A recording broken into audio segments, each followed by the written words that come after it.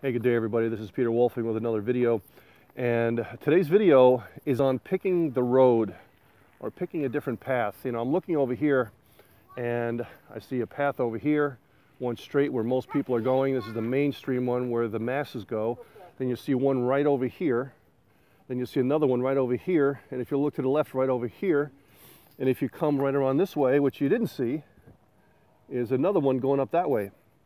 Well, when you're getting started in your business, you're trying to figure out what to do next because it's all very confusing. What do you do? Where do you go? How do you choose? Well, this is where you have to rely on other people, such as your sponsor Upline, and decide which way is the best to go. And not always where the masses are going is the best way to go. Right? Especially even, you know, you can apply this video to almost anything, right? Choosing what you do for a career is even another thing. But right now I'm talking about prospecting methods and so on. So you're going through here, and you say, okay, you talk to your sponsor, talk to your upline, see what the company's doing, and try not to reinvent the wheel and pick the right way to be able to build your business with whatever prospecting method is being recommended by the company. So you've chosen, and what you need to do when you choose a prospecting method is to not stop in a few days or a week. You have to give it some time to work. Okay, you have to adjust a little bit, Maybe start out slowly and see what's happening there first, and then you tweak as you go along. So you always keep your long-term vision intact, but then at that point you have to adjust along the way. And sometimes when you're starting a prospecting method, you're gonna make you're gonna have to make decisions, right? So coming up here on the path, we have to decide which way we're gonna go, this way or this way, right? And so you decide, hey, let's go over here, let's take a peek this way as you get run right past here. Cool. All right, so you're looking over here, you say, okay, which way do I want to go? Well, this is another path going down this way, right? Down here, you're not sure what's going on over there. Well, again, you ask questions. You find the answers to your questions. Good morning. Nice walk today, huh? Morning, yeah. and, well, you decide maybe, okay, listen, I'm going to go this way because that was what was recommended to me by my sponsor or upline. And you fine tune your marketing method. So after you've done your marketing method for a while, you pick and choose another marketing method because you say, okay, I've learned this one. And what so many people do is, look back here again, is they start to market a certain way, whether it's emailing, phone broadcasting, you, you pick the way, but they only do it a short time and they decide whether or not it works. And you can even apply that to network marketing. They start the business and they give it a very short time to work or not work. And then they jump to another one and jump to another one and jump to another one. Same thing with prospecting. You never really get deep into anything to really learn it, to, to get your skills up to a point where you're proficient. And you get mediocre success, if that, right? If that. And again, apply this to just doing the network marketing business and or just prospecting in general. You kind of do it a little bit, but you don't really get good at it. So your goal should be to focus on your network marketing business and or your prospecting method until you get really good at it. And preferably, eventually, you get world class at it.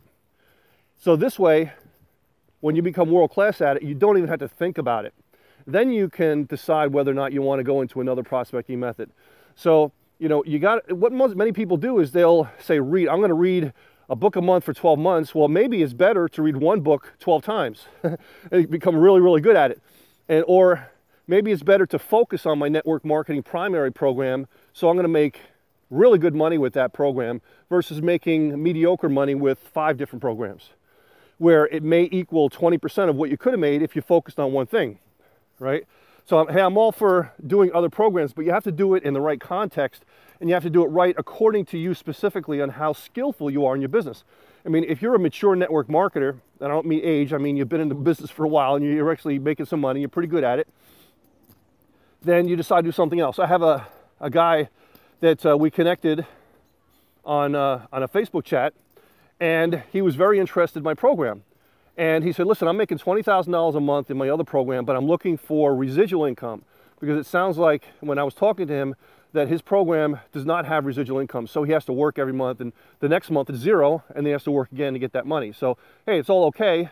That's just what he's working. But he's looking for a residual income and that's why he's joining our program because it has a residual effect to it. So, you know, he's making a very good income there and then he's going to pick and choose, okay, do I want to spend 10 or 20% of my time to do my program or 30% or 40%? He'll decide that while he can still maintain his $20,000 a month. So it's up to him to decide how he wants to do that. Right? So as you start to mature and make some serious money in your business, here's some more choices. Which way are you going to go? You're going to go over here, here, here. All right, well, I'm going to pick to go this way. And if he would have not done that, and he was making maybe $500 a month in his business, and then he decided, okay, I'm going to do another one, another one, another one. Well, maybe he does five businesses and he makes 500 here, 750 here, $200 there a month, right? Versus doing the one business and he's there making $20,000 a month, right? So see what I'm saying? So doing multiple programs or doing multiple prospecting techniques is not necessarily bad.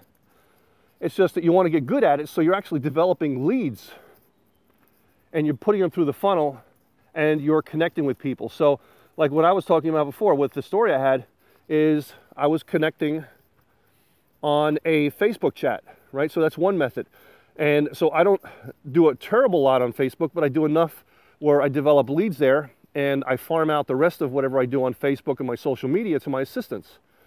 And you may have heard many times on my videos and my trainings that if you're not using virtual assistants, you're wasting money. you really are. Um, and I, I, preach it so much and, and most people just don't heed my, my words and they say they're, you're penny pinching on their business. But anyway, that's a whole nother video. So if you can, get a virtual assistant. If you want to know uh, which one I use for the last four or five years, just email me, let me know, or contact me. I'll tell you, and I'll give you a link to it. And, uh, but it's, it's really a great thing. And that's how you can start doing multiple things at one time where it doesn't take skill from you, where you can do more important things like closing deals and things like that. And they can do the lead generation and they can do the initial connecting. And then when it comes to you actually speaking to them, then you can actually do that. Let me zoom in here. This is one of my favorite spots. My, um, my kids, when they were younger, we used to come over here and fish for crayfish, or maybe other parts of the country they call them crawfish. Throw in a little line, put a little chicken bone on there or something, pull them, and when they start tugging back, you got them, and then we throw them back in. Oh, well, wow, that was a great picture, huh? Now, I didn't plan that. I did not plan that. Yeah, one, two, three, four, what is it? One, two, three, and four. Four, three mallards and one female. That was a, a great shot. so, um, so yeah, so guys, when you're doing that, back to my video, my point is that you want to focus on what you're doing to generate the type of income you're looking at. Instead, instead of going this way, I'm going to go up these rocks here and try to do this while I'm making the video. So sorry about the bumpiness. And sometimes you have to go up and it seems treacherous and it seems difficult. But when you get up to the top, that's a skill that you've mastered. Because it's not always easy, you know, it's sometimes it's difficult to do things that are that are important that are going to generate you the kind of money that you want. But you have to do the difficult things. But if you do it one step at a time, if you do it one step at a time, before you know it, 30, 60, 90 days down the road, you're going to say, wow, hey, I'm pretty good at this.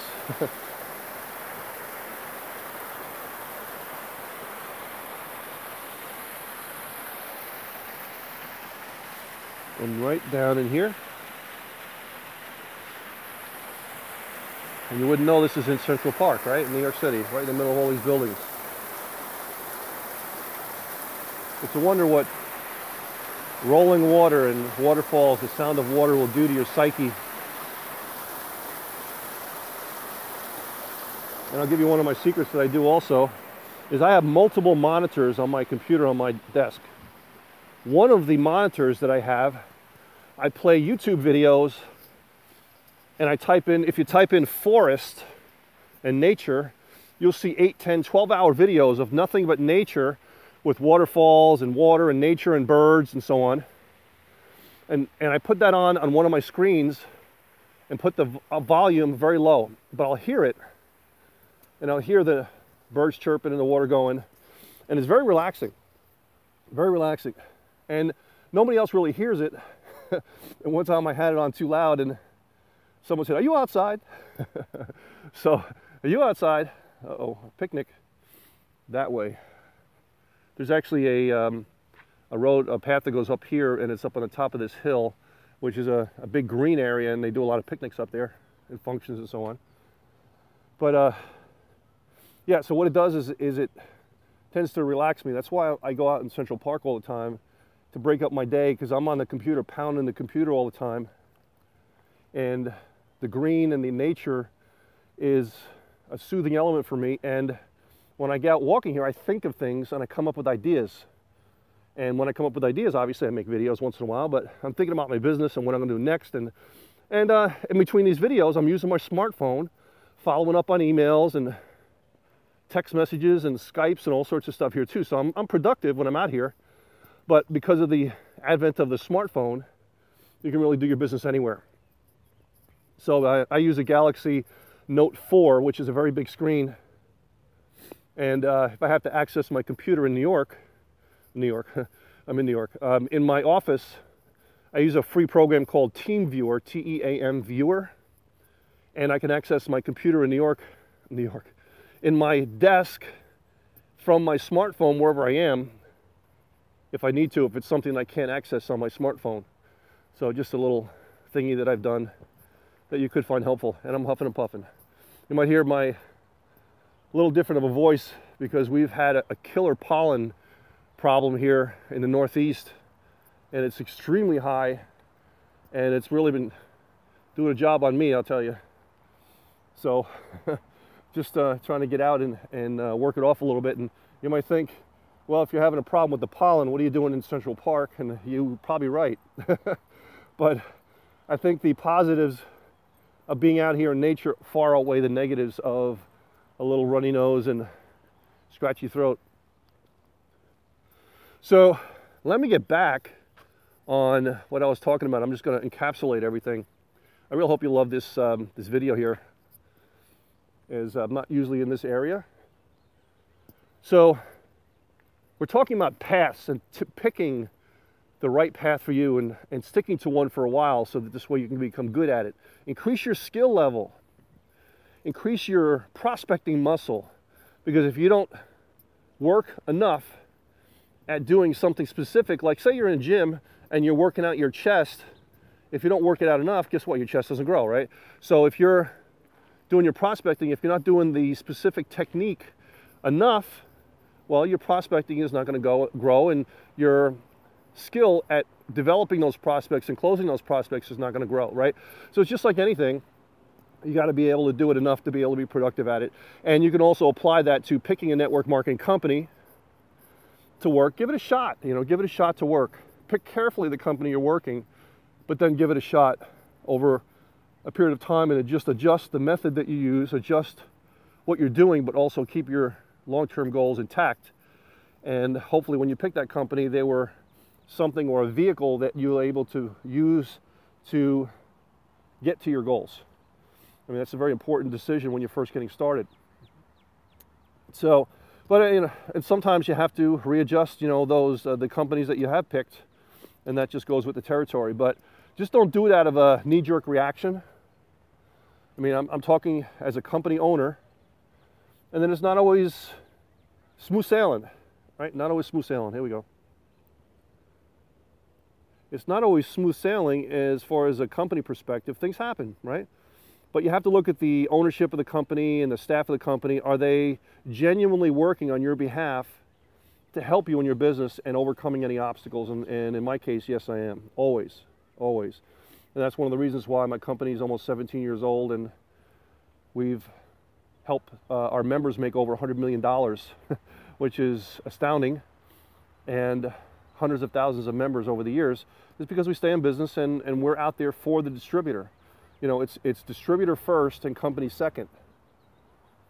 And in your case, it's prospect first, distributor second, right? So it goes in that, that order. So guys, um, I think I'm gonna lose my voice in a moment. but I hope you really liked this video. I enjoyed uh, this topic today. Look forward to seeing you on another video. This is Peter Wolfing. Have a great day. Bye for now.